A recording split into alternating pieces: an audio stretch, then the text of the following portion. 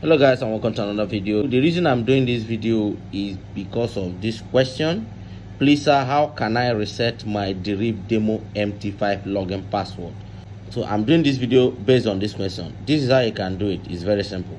To edit your deriv mt5 login password this the thing you need to do. First thing first you need to click here the menu button right here.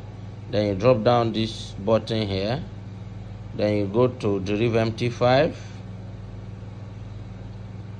this real account you click on demo. Uh, you switch to your demo account then you click on trade. Then this information will pop out. Then you click on this your password this your login id and this is the server. So once you're done you just click on this uh, delete password there this button right here.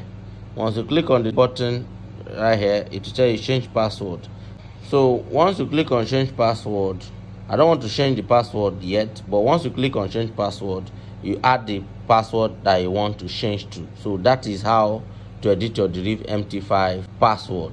So i hope this video was helpful. If it was don't forget to give the video a like and also subscribe to the channel if you're new. So talk to you in my next video